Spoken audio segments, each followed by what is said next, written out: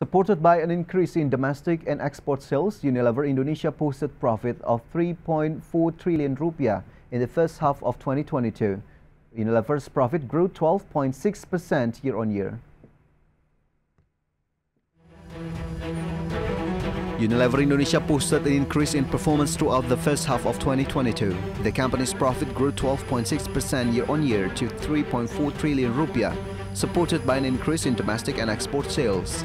Unilever reported that during the first half of 2022, net sales reached 21.4 trillion rupiah with domestic sales up 6.8% and continuing to increase compared to the first quarter of 2022.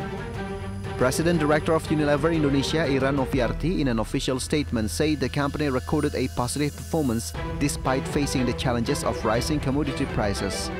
This positive performance was also driven by solid fundamentals through strengthening the foundation in distributive trade through e-commerce and in key categories and brands supported by strong investments. In the second quarter of 2022, Unilever's Food and Refreshment division recorded growth of 7.5%, which continues to be the main driver of growth. Meanwhile, the Personal Care division managed to record sales growth of 10.7%.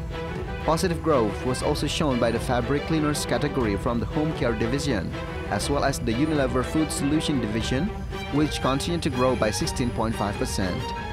IDX Channel reports.